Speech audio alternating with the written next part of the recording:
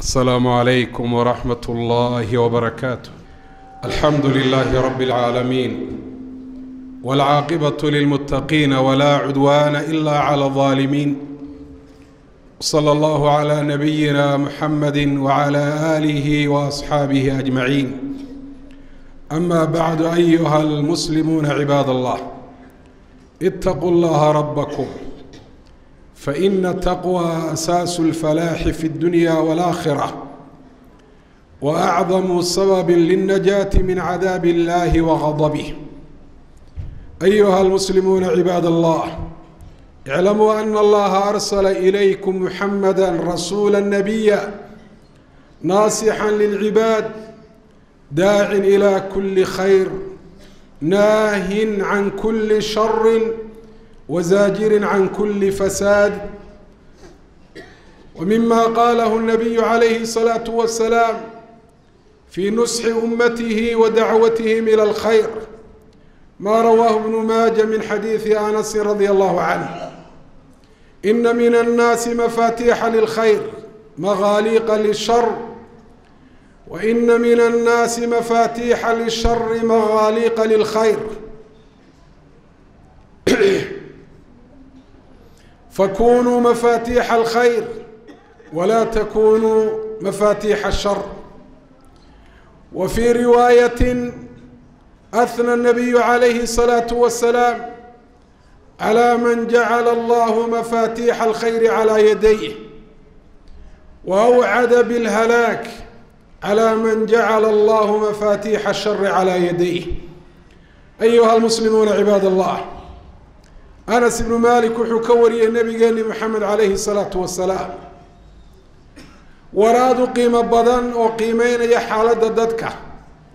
Qeybaha ay leeyihiinna si cad u sheegaya iyo qeyb walba waxa ay noqonaysa natiijadoodu. Rasuulku calayhi salaatu wasalaam wuxuu yidhi dadka waxaa ka mida kuwa khayrka furo u ah sharkana qufulu ah waxaa dadka ka mid oo kuwa ka soo horjeeda. Kuwa sharka furo u ah. Khayrkana quful u ah. Waxaa janno iyo wanaag helaya. Qofka ilaahay subxaana wa tacaala gacantiisa uu geliyo furayaasha khayrka. Waxaa halaagsamaya qofka ilaahay gacantiisa uu geliyo furayaasha sharka. Rasuulku calayhi salaatu wasalaam tala qiimo badan buu warkaa raaciyey wuxuu yihi waxaad noqotaan furayaasha khayrka. Hana noqonina furayaasha sharka. Xadiidkaasi waa xadiid markaa asaaniiddiisa laysu geeyo xasana. Sida ahlulcilmi bilxadiid ay tilmaameen. Waxaanuu rasuulku calayhi salaatu wasalaam inoo sheegay khayrku inuu leeyahay furayaal asbaab lagu gaadho kuwa xisiyoo la taaban karo iyo kuwa macnawiyoo la fahmi karo sharkuna sidaasoo kale inuu leeyahay furayaal.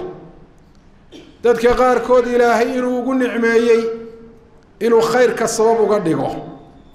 Dadka qaarkoodna ilaahay dembigooda daraaddii inuu ku ciqaabay inuu sharka fure iyo sabab uu uga dhigo. Furayaasha khayrka ee rasuulku calayhi salaatu wasalaam xadiidkan uu ku sheegayo tusaalayaashoodu waa badan yihiin furaha ugu weyne khayr waa towxiidka iyo keliyeynta ilaahay subxaana wa tacaala. Cibaado iyo daaco kasta iyo wax kastoo ilaahay loogu dhowaadaana waa furo khayr. Waxaa furo khayra qofku dadka inuu noqdo tusaale fiican oo uu sameeyo wax wanaagsan oo ay kaga daydaan. Siduu yihi rasuulku calayhi salaatu wasalaam man sana fi lislaami sunnata xasana falahu ajruha wa ajru man camila biha min gayri an yunqasa min ujuurihim shay.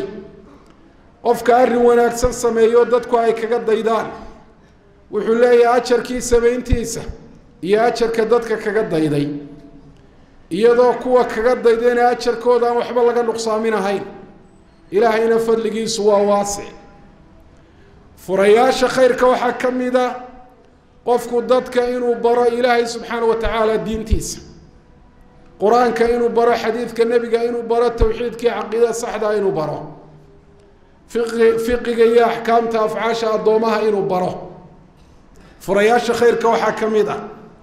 Qofku inuu noqdo mid dadka wanaagga faraya xumaantana ka reebaya waddada ilaahay loogu dhawaadee jannadiisa lagu gaadho u tilmaamaya. Waddo kasta oo noloshooda adduunye ama taakhiro fasahaadinaysana mid uga digaaya inuu noqdo furayaasha khayrku aada bay u fara badan yihiin. Tusaalayaashaas ayaa inugu filan. Furayaasha sharkuna tusaalayaal badan bay leeyihiin.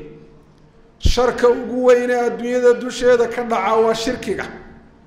Iyo ilaahay subxaana wa tacaala cid khalqigiisa ka mid ah in lala maseeyo oo lagula maseeyo rabbinimadiisa ama macbuudnimadiisa ama magacyadiisa iyo sifaadkiisa wanaagsan ee dhammayska tiran qofka dadka ugu baaqaya shirki ee tawxiidkana u fool xumaynaya furihii sharka ee ugu daraa ayuu sitaa ee ugu xumaa uguna dembiga weynaa furayaasha sharka waxaa ka mida bidcada oo khasaare adduunye mid aakhiro ayay qofka u horseedaysaa macsiyo kasta oo ah in ilaahay amarkiisa la khilaafo ama wuxuu ilaahay diiday in la sameeyo iyaduna waa furo shar weeye qof kasta oo dadka xumaanta faraya u qurxinaya oo ugu baaqaya. Furo shar ayuu sitaa. Qof kasta oo fitne iyo fasahaad dadka u tilmaamaya o ugu yeedhaya amaba se tusaale ugu ah isaguna waa qof ilaahay gacantiisa u geliyey furihii sharka. Oo ilaahay subxaana wa tacaala haddaanu toobad keenin uu la doonay inuu halaagsamo adduun iyo aakhiraba. Rasuulkeennu calayhi salaatu wasalaam talo qiimo badan buu ina siiyey wuxuu yihi waxaad noqotaan furayaasha khayrka. Arrin kasta oo khayra oo wanaagsan oo aada taqaanaan dadka bara ugu yeedha oo fara tusaale dadka khayrka ugu noqda ha idinkaga daydaane. Ku dadaala khayrku siduu dadka dhexdooda ugu faafi lahaa nafculcibaad ku dadaala addoommaha inaad anfacdaan furayaasha khayrka ayay ka mid tahay qofku cilmi iyo caqli xoog iyo awood iyo maal wuxuu ilaahay siiyey addoomaha ilaahay inuu ku anfaco ka digtoonaadoo iska ilaaliya buuri rasuulku furayaasha sharka inaad ka mid noqotaan oo aada noqotaan kuwo dadka ugu yeedhaya wax sharka asbaabtiisa ka mid ah ama sharka laftiisiiba sida shirkiga iyo bidcada iyo macsiyada. Ama inaad dadka arrimaha noocaasiyo tusaale ugu noqotaan idinkaga daydaan iska ilaaliya. Furayaasha sharka waxaa ka mid a fitnada iyo waxaa amniga iyo nabadgelyada khalkhal gelinaya. Waxaa dadka muslimiinta quluubtooda kala fogeynaya sida qabyaaladda iyo nacaraadka jaahiliga ah. Ka digtoonaadoo iska ilaaliya buuri rasuulku calayhi salaatu wasalaam taladaa rasuulka qofka qaata adduun iyo aakhiraba waa ku liibaani doonaa qofka qaadan waaya ee qafladii ay qalbigiisa indha tirto xamaasad iyo caadifad haysaana talada rasuulka inuu qaato ay ka hor istaagto maalin kale ayuu garan doonaa oo ka calaacali doonaa iyadoo calaacalaan waxba u tarahayn. Meeluu ka noqdaana aanay jirin. Ilaahay baynu ka baryaynaa inuu inagu daro furayaasha khayrka furayaasha sharkana uu inaga ilaaliyo aqulu qawlii hada waastaqfiru llaha lii walakum alxamdu lilaahi rabi اlcaalamiin uma asalaatu wasalaamu calaa cabdi illaahi warasuulih muxamedi wacala aalihi waasxaabihi ajmaciin. Ama bacdu ayuha almuslimuuna cibaad allah sida rasuulkeenu calayhi salaatu wasalaam inoo sheegay qofka furo khayr noqdaa wuxuu helayaa khayrka uu sameeyey ajarkiisa. Iyo cid kasta oo kaga dayata ajarkay ka heleen mid leeg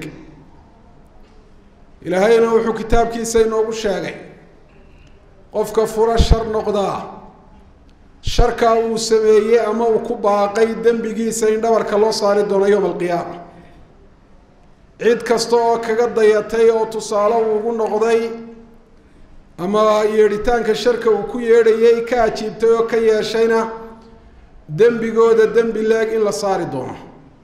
Walayaxmilunna ahqaalahum ahqaala maca ahqaalihim ilaahay wuxuu inoo tilmaamay dembiye culus kuwii ay sameeyeen iyo kuwo kaloo dadka ay ugu yeedheen ama tusaale ay ugu noqdeen in dhabarka loo saari doono yowma alqiyaama waxaan kelmado kooban ka odhanayaa intaa dabadeed xaaladda maanta dalkeennu ku jiro iyo khilaafaadka siyaasadeed ee oogan.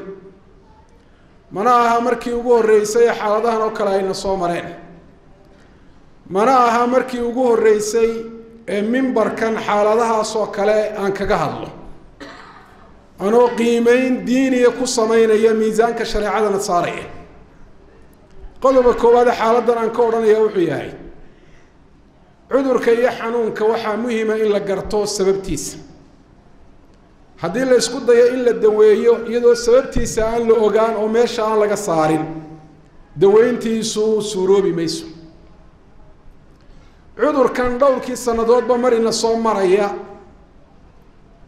ee mar walba waxa quri aynu qabanaynaa uu yahay in la ysku dayo xumad jabin in loo sameeyo sababtiisu way caddahay. Khilaafkan maxaa sababo ah? Manhajkii ilaahay iyo sharcigiisii iyo waddadu inoogu talagalay adduunyada intaynu joogno inaynu ku noolaano mid aan ahayn baynu qaadanay. Waxaynu ku faanaynaa inuu waddankeenu yahay waddan dimuquraadi ah oo dimuquraadiyo ay ka hana qaaday. Ilaahay subxaana wa tacaala sharcigiisii in badan oo ka midan oynu ka sii jeesanay dimuquraadiyadana waxaa ka mida usuusheeda dadka in la kala tafriiqiyo oo tafaraaruq lagu rido. Oo marka koobaad xisbiye iska soo horjeeda loo qaybiyo iyadaa tafaruqa keenaysa. Halka diinteennu ay tahay mid dadka midaynaysa. Sida ilaahay ina amray markuu yihi wactasimuu bixabli illaahi jamiican walaa tafaraquu dimuquraadiyadda ayaa tafaraaruqa wadata dimuquraadiyaddu waa mabda' ballaadhan waxaa ka mida furuucdiisa. Waxaan doorashooyinka lagu magacaabo. Ee ummadda ciddii hoggaamin lahayd. Qof kasta oo ummadda waddankaa degan ka mid a tale laga weydiinayo. Qof walibana ra'yigiisa iyo aragtidiisa uu ka dhiibanayo. Arrintaasi oo ka mida furuucda dimuquraadiyadda dadku hadday yihiin dad muslimiina oo ilaahay sharci iyo diin uu soo dejiyey iyo xataa hadday isdooranayaan qaab ay isu doortaan iyo cid doorashadaasi u gasho oo u arrimisa dadku hadday yihiin dad qabaa'ila oo nasab iyo abtirsiin leh dhexdooda kama shaqayso. Waxaanay sababtaa khilaafkoodu inuu bato isku dhacooduna inuu aada iyo aada u soo noqnoqdo. Taasina waa taa aynu aragno. Markii ugu horreysay maaha ee xaaladahan oo kale ayna soo maraan. Intii dimuquraadiyaddu ay waddanka ka jirtayba xaaladaha noocani way ka jireen. Dimuquraadiyaddu waxay muransiinaysaa qofkii weliyul amriga ahaa ee ummadda taladeeda hayay ee waajibku ahaa in wanaagga lagu addeeco. Khalad iyo gaf wuxuu galana iyadoo waddo saxa loo marayo in looga nasteexeeyo. Oo dadku ay kala noqdaan raaci iyo raciya qof mas'uula iyo in mas'uul laga yahay. Dimuquraadiyaddu shacabkii iyo madaxdii bay muransiinaysaa oo waxay samaynaysaa quwa mutawa mutawaasiya awoodo siman. Dabeetana mar walba waxay noqonaysaa in fawdo iyo muran lagu jiro iyo khalkhal xagga hoggaaminta ah. Marka haddaynu doonayno cudurrada noocana inaynu ka bogsanno aynu iska laalaabno dimuquraadiyadda oo aynu u noqonno manhajkii iyo sharcigii ilaahay uu noo soo dejiyey ee ilaahay subxaana wa tacaala ugu talagalay maalmaha kooban ee adduunyada aynu joogno inaynu ku noolaano kaasi waa qodobka koowaad. Qodobka labaad wuxuu yahay had iyo jeer xaaladahan oo kale dadka iskhilaafaa sidaynu in badan ku celcelinay. Intii mimbarkani uu jirayba hadalkaasi waan lahaa. Waanu duuban yahay marar fara badan. Muranku cidduu dhex marayaa ee ummaddana marka dambe muransiinaysaa waa afraad iyo ashkhaas kooban weeye. Oo dana gaaro iyagu ay leeyihiin u socda oo mid kursi doonaya iyo mid kursi difaacanaya. Intaasay ku soo urureysaa dadka kalena xaabaa laga dhigtaa. Ama markay ugu fiican tahay sallaan baa laga dhigtaa. Ama dhufays baa dadkana laga dhigtaa. Mid waliba siduu u gaari lahaa muraadka iyo ujeeddada u socdo wuxuu isku dayayaa dadka inta ugu tirada badan inuu cabbeeyo oo uu ka dhigo qori isagu uu ridayo oo cidda kursiga ay isku haystaan uu ku ridaayo. Dadka badankooduna waa qawqa waa dad aan aada u fikirin oo xaaladaha si dhaba aan u qiimeyn. Ee waxay odhanayaan iyo waxay samaynayaanba uu ku salaysan yahay xamaasad ama caadifad la geliyey. Isla markaana aan taariikhda dib u eegin oon ku cibro qaadan xaaladihii iyaga soo maray ama dad iyaga ka horreeyey soo maray. Rasuulkuna calayhi salaatu wasalaam wuxuu yihi asaciidu man wucida bigayrih qofka liibaane ee guulaystay adduuniya aakhiraba waa qofka fitnada iyo dhibaatadu isaga aanay ku dhicin ee dad ay ku dhacday xaalkooda loo sheego lagu waaniyo. Dabeetana wax ku qaato oo yidhaahda taasi si aanay ugu dhicin waddadii kuwaasi ay mareen anigu mari maayo waxyaabaha tusinaya dadku xaaladaha soo maray ama cid iyaga ka horreysay soo maray inaanay ku cibro qaadan oo naftooda aanay ku waanin waxaa ka mid a. Waddankan aynu joogno dagaallo sokeeya ayaa ka dhacay. Ma la isweydiiya horta? Imika mise xataa in la soo hadal qaado ayaa laga khajilaa kuwii dagaaladaa galay laba ama dadka geliyey laba u qaybsameen kuwo weli nool oo markuu dagaalka ee fitnadaasi ay socotay way ku faanayeenoo haliyeeyaa loo arkayay. Maantana way ka khajilayaan inay sheegaan dagaaladaasi inay galeen. Oo hadduu qofku idhaahdo hebel dagaalkii sokeeye meel heblaaye ka dhacay buu ku jiray. Aada bay isu difaacayaan waxaa laga inay been isku difaacaan. Oo arrinta noocaasiya ay dafiraan. Waayo maalintaas si saxa waxba umay qiimeynahayn laakiin maanta markay fitnadu jiidhay ayay fitnadii iyo foolxumadeediiba ay arkeen. Kuwo kalena dagaaladaas iyo fitankaasay galeenoo way ku dhinteen. Aakhiradooda ilaahay baa og ilaahay halku geynayo. Qof kasta oo muslima oo dhintayna waynu ducaynaa ilaahay u naxariisto ilahay u dembi dhaafo baynu leenahay laakiin cid maanta hadal haysa oo ammaanaysa ama dadkoodii calalaqal ka war haysa caruurihii iyo dumarkii ay ka tegeen miyaad maqasheen ama ad aragteen waa maya weeye raggii dagaalka gelinayeyna kii ay u suurto gashay danihiisiibuu ku gaadhay. Halkaasuu ku dhaafay waxaasoo dhan lagu cibro qaadan maayo wataariikhu yuciidu nafsahu. Taariikhduna iyada lafteedii baa soo noqonaysa. Soo maydaan ogeyn wakti waktiyada ka mida xukuumaddii jirtay. Golaha baarlamaanka inay xidhay. Xisaab ama xisbigii mucaaridka ah xisbi mucaarid oo markaa jiray inuu abaabulay mudaharaado masaajidkan anoo ictikaafsan baa nin wariye igu yimi oo kelmad ku saabsan mudaharaadadaas iyo dhibaatada ay leeyihiin. Ayaan halkan markaa ka ka idhi. Kuwii mucaaridka ahaa qaar ka mida aad bay ugu canaanteen dha sheekh maxaa nagu kaa salliday ee dadkan oo abaabulanay aada nooga kala daadinaysaa xisbiga kulmiyu ahaa mucaaridku markaa xukuumaddana waxaa madaxweyne ka ahaa daahir riyaale. Kuwii muxaafidka ahaana way ku faraxsanaayeen oo nin ka mid wuxuu igu yidhi t v-ga xukuumaddu khayr unbuu sheegaaye. Sheekh waxay ahayd kelmadda t v kaloo magaciisa uu sheegay kaasuu sharku aada uga socdaay kaa inaad ka jeedisaa bay ahayd buuri mudaharaadadaa dad baa ku dhintay tiroodu intay doonaysaba ha noqotee cid maanta taallooyin u dhisaysa oo haliyeeye ku sheegaysa ama manfac adduunyo dadkii ay ka tegeen waalid iyo walad iyo dumarba maanta la garab taagan miyaad maqasheen? Xataa lama hadal hayo lamana soo hadal qaado meel la taariikhda kamay gelin iyagunba iska xamaasadooday laamidaasay yaaceen booliskiina rasaas buu ka hor keenay halkaasay ku dhinteen. Ka ugu fiicani waa ka yidhaahda ilaahay ha u naxariisto.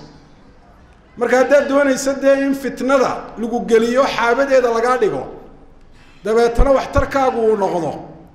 In lagu duceeyo lagu idhaahdo ilaahay ha u naxariisto. Taasi waa si xun u dhimashee si wanaagsan inaad u dhimato ayaa taa ku dhaanta raxmadda ilaahayna waddooyinkeedu waa badan yihiin weliba la hubo ee shakiga aan lahayni inaad u marto ayaa kula gudboon. Shacabka taladan u jeedinaya waxay tahay. In badanna waan ku celceliyey. Culimaduna waa ku celceliyaan. Cidduu ilaahay ku anfacayo ilaahay ku anfacaya. Cidday la fool xuntayna mar walba waa la fool xuntay. Mar walbana qolay la fool xuntay. Xisbi iyo qolay mar walbana la fool xun tahay waayo waxay u arkaan in arrintaasi danahooda gaarka ay wataan ay ka hor imanayso dadka ay ku guurayaan ay sallaanka iyo xaabada ka dhiganayaan. Arrinta noocaasi ay baraarujinayso. Waxaan leeyahay waar shacabow ilaahay ka baqda. Xaaladahan oo kale waa imtixaan dadka soo maraya oo addoomaha qalbigoodu ilaahay uu ku xidhan yahay ee aakhiro xusuusan ee ilaahay ka baqaya ee carabkooda afkooda iyo adinkoodaba ilaashanaya iyo kuwa ku fitnoobaya ee dembaabaya ee caytamaya ee isku dirka samaynaya ee fitnada abaabulaya ayuu ilaahay subxana wa tacaala uu ku kala saaraya. Kuwa furo khayra ee sulxiga iyo wanaagga iyo soo dhaweynta quluubta ka shaqaynaya iyo kuwa furo shara ee kala geynta dadka iyo iska horkeenkooda iyo fitno iyo dhiig inuu daato ka shaqaynaya siday doonayaan ba ha u dhigaane ama abaabulaya kuwaasuu ilaahay kala saaraya. War kuwa imtixaankaa ku dhaca ha noqonina. Oo diintiina ilaashada iyo iimaankiina iyo toosnaantiina iyo diinku dhaqankiina iyo alle kacabsigiina war adduunyadiinana ilaashada. Maanta nabad baad haysataan iyo degenaansho qof waliba arsaaq intuu ilaahay siiyey buu ku nicmaysanaya. Oo nabaddaasi ay ugu dhadhamaysaa haddii nabaddaasi meesha ay ka baxdo waxa dhacaya waad garanaysaanoo anuu idiin sheegi maayo dee wixii aynu aragnay. Oo xataa dhalinyarta aan soo gaadhini fideoyadii iyo muuqaaladii laga duway ugu yaraan arkeen. In badan oo warkeeda ka midana dadkii waaweynaa ee goobjoogga u ahaa ayay ka maqleen. War nicmada ilaahay ina siiyey inaan dafirine ilaahay aynuga mahadnaqno. Ilaahayna subxaana wa tacaala ziyaade aynu weydiisano war waxay naga baabiinayana aynu ka fogaano ilaahay nicamkayna siiyee diineed iyo kuwa horumarka adduunyaba. Sidii ay u kordhi lahaayeen ay u hana qaadi lahaayeen ee korukacay u samayn laha aynu ka shaqayno dadka kursiga doonayana waxaan leeyahay war nafihiinu iyo kuwa difaacanayaba war nafihiinu ilaahay bay gacanta ugu jiraan. Inaad noolaan doontaan ma ogidin idinku iyo geeridii intay idiin soo jirto waxayna soo martay rag kursigaa isku qabsaday oo si xun u wada hadlay oo qaar qaar ka midii bil dabadeed ay dhinteen. Ilaahay u naxariistay. Hadday ogaan lahaayeen geeridu inay intaa u soo jirto. Aakhira u jeesan lahaayeen ee u sahay qaadan lahaayeen. Kursi iyo madaxtinimo iyo murankeedna may galeen. War ilaahay oo geeridu goora iman doonto. Ilaahay baa subxaana wa tacala laydin horgeynaya idin xisaabin doona waar masaalixda iyo waxaad manfaco adduunye u aragtaan. Ilaahay yaanu idinka fogeynin aakhirana yaanu idin ilowsiinin tiinna ilaahay kaga baqa oo lafiina ha u dambaabina. Oo waxaad odhanaysaan iyo waxaad samaynaysaanba ilaahay sharcigiisa iyo diintiisa ku miisaama. Dadkan islaamkaana ha dambaajinina. Diintooda iyo adduunyadoodana ha fasahaadinina oo fitno iyo dhibaato ha dhex dhigina wixii aada isku qabataanna ilaahay baa inoo sheegaye wax kale idinma kala saarayaan oo caaqibadiisu mid wanaagsan noqon maysee ilahay sharcigiisa u celiya fain tanaasactum fii shay farudduuhu ila llahi wاrasuul in kuntum tu'minuuna biاllahi walyowmi اlaakhir dalika khayru wa axsanu ta'wiila wax kastoo la ysku qabto in ilaahay sharcigiisa loola noqdo ayaa dadka adduunyadooda iyo aakhiradoodaba khayrkeeduu ku jiraa taasaana cidhibteeda dambe adduun iyo aakhiraba ay wanaagsan tahay. Haddii meel kaloon ilaahay sharcigiisa iyo diintiisa ahayn loo noqdo waa muran un baa lagu jiraya walow kaana min cindi gayr illahi lawajaduu fiihi ikhtilaafan kaiira haddii ilaahay cid aan ahayn ay soo dejin lahayd qur'aanka iskhilaaf badan baa lagu arki lahaa. Laakiin qur'aanka ilaahay baa soo dejiyo iskhilaaf ma leh waxaan kale dadku ay dhoobdhoobeen oo dhan khilaaf iyo muran unbuu soo kordhiyaa haddaan marka hore aan lagu salayn oo aan waafaqsanayn. Ilahay subxaana watacaala sharcigiisa iyo diintiisa. Allahuma rabbana aatina fi dunya xasana wafi laakhirati xasana waqinaa cadaab annaar allahuma ina nasaluka alhuda waltuqa walcafaafa walghina allahuma asqina algaytha walraxma wala tajcalna min alqaanitiin allahuma asqina algaytha walraxmata wala tajcalna min alqaanitiin اللهم اسقنا الغيث والرحمة ولا تجعلنا من القانطين. اللهم صل على نبينا محمد وعلى آل نبينا محمد كما صليت على إبراهيم وعلى آل إبراهيم. وبارك على محمد وعلى آل محمد كما باركت على إبراهيم وعلى آل إبراهيم في العالمين إنك حميد مجيد.